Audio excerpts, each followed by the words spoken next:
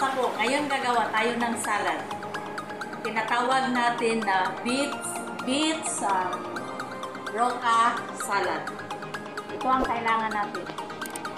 Pomegranate, roca, fresh beet shredded, carrot shredded. Tapos, i-arrange natin ng kung sinong mga among mga mahilig sa salad, pwede niyo po itong gayahin.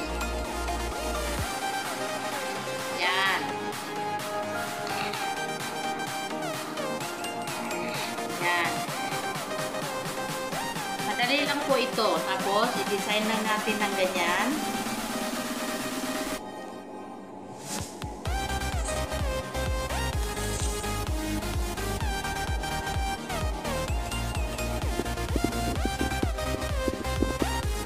Siguradong magugustuhan ito ng mga amo nyo.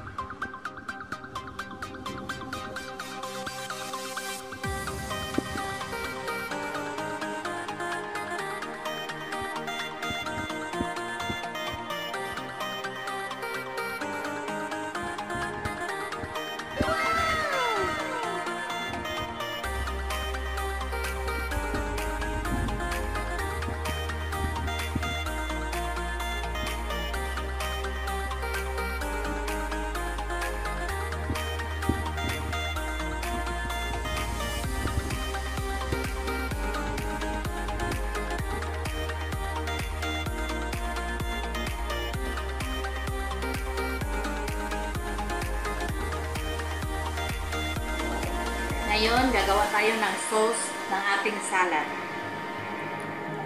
Olive oil,